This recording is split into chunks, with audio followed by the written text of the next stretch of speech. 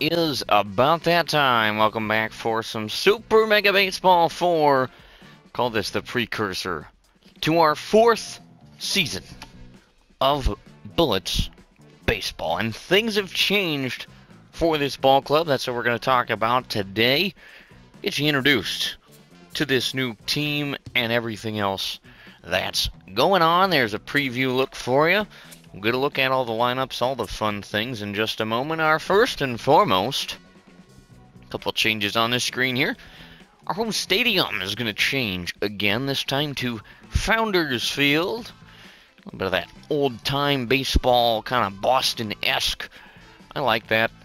We've been moving around. This team hasn't been able to find a forever home, and uh, maybe between that and a few other changes we're making around the place, it'll do us some good.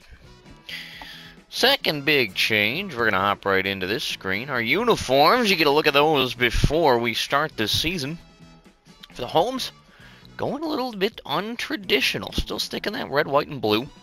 However, it's almost a navy-esque blue jersey, white piping, uh, red and white numbers, white trim on the sleeves, and blue and white pants. Primary blue, white stripe down the side, and white socks.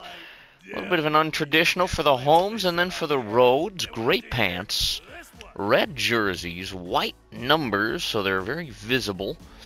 And that was my goal. And then uh, gray and red hats. Also get a look at our uh, alternate uniforms, alternate uni number one you saw it last year. The powder blues with the white gradient are going to be sticking around. Alternate uni. Oops, I just added a, a random one.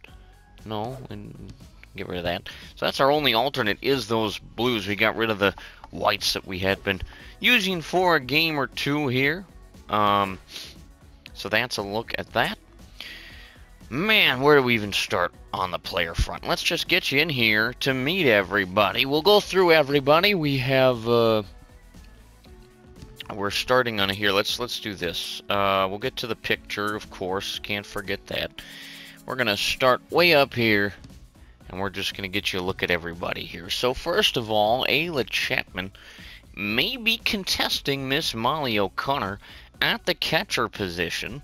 Uh, we will see as time goes on. She's got decent stats, and uh, we needed another kind of secondary catcher, so she can also play first for us when needed. Layla Uptown, you know where you love her. The bright hair, the glasses, the teal uh, baseball bat making a return. She can be short as well as, well, primary second. Uh, shortstop is where she's probably spent more time for us, but uh, that's Miss Uptown. You know her, you love her. Up next, we have Nick Jackman. He's sticking around for another season with us. He'll be playing some first base and uh, occasionally being potentially a bench hitter, depending on how things kind of pan out.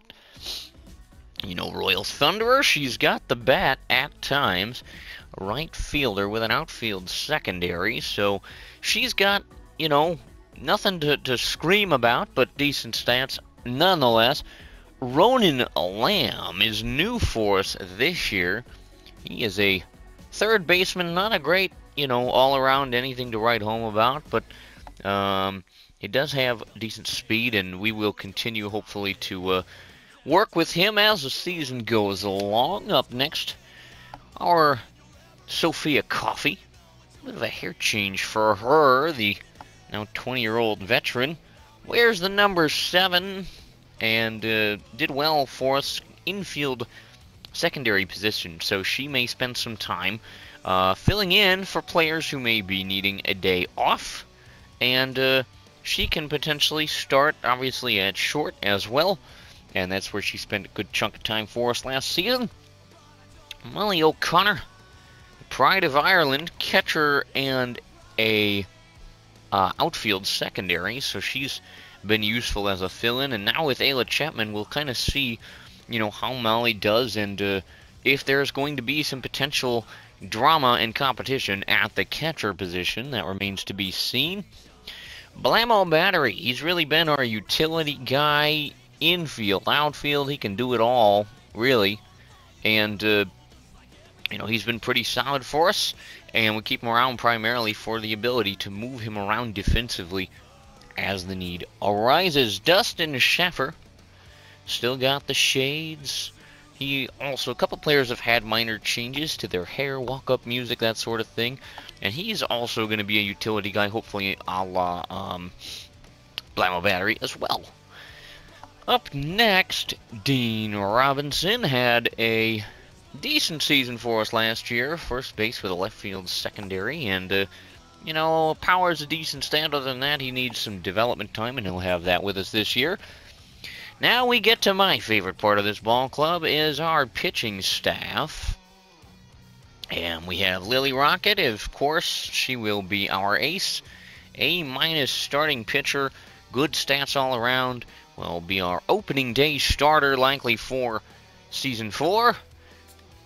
Up next, Ella Vortex sticking around, and she will hopefully have a better season than last year. We had a bit of a rough time, but we've got a better defense as a ball club, and so hopefully that will help Miss Ella. Getty Doctor, I mean his bald head, sticking around. Steady Getty when he's on, he's fantastic. When he struggles, it's been rough, but he will be with us again as a starter. Ruby Farrell as well. A couple of our pitchers rocking the light blue headbands this season. Now, Olivia Field who has struggled to say the least. Uh, she will be in the pen for us this year, and uh, we'll hope that we can continue to do some development work with Miss Field and see what becomes of her, the 29. Horace Moody uh, decided he didn't want the blue. That was too much work for the hair. He let it go natural, and this is what happened. I don't know if he's just old or what. Looks like Santa Claus or something like that. And there he is. And uh, Lorenzo Clark, you know, decent out of the back end of the bullpen when his defense can work with him. When not, it's been rough. And Wanda McMackey is going to be our closer. Look at this lady. She is going to be spectacular for us. Amazing stats, and we're hoping that that can work out for us. Um, and then uh, I'm going to mess this up. Isla Padilla, I believe, is going to be our new closer. Sorry, not Wanda. I thought Wanda was, but she is a uh, reliever. And then Isla Padilla as a closer. I mean, she's got decent stats, and uh, I'm liking where she's at. Now, you know Canopy Cannon, he's probably going to be a big face for us. He has been for the last few seasons. He's been with us, I believe, from the outside of this club. And then uh, we also have Heel Mitchell. And, you know, some more outfield help never hurts. And then here's a big one, kids. You ready? You saw this name likely last season, and she is a menace. Princess Precious is ours. For whatever reason, she was put into free agency, and I couldn't pass up the opportunity to get an absolute stud of a player, such as Princess Precious. The 27 year old, look at these stats. Just gnarly. And then we're back with Ayla Chapman. So that's a look at the ball club. Uh, in terms of a lineup, uh, I got to do some thinking. And if you have any ideas, uh, please let me know. This is kind of where I'm leaning so far. We got Canopy Cannon in that leadoff spot.